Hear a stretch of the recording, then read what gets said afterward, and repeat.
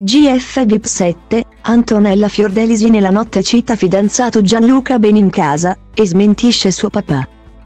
Nella notte Antonella Fiordelisi, Andrea Maestrelli e Antonino Spinalbese si sono ritrovati a parlare delle loro relazioni sentimentali e inevitabilmente il discorso non poteva non toccare la travagliata relazione che Antonella sta vivendo con Edoardo Donnamaria all'interno della casa del GF VIP 7.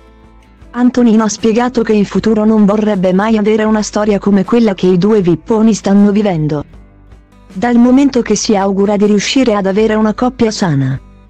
Antonella allora ha replicato, spiegando che nella sua vita non è mai riuscita a costruire una relazione sana.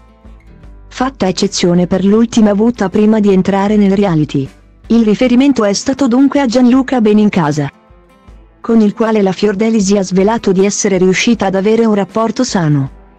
Smentendo di fatto quanto detto fino adesso dal padre, che non ha mai speso belle parole per il ragazzo.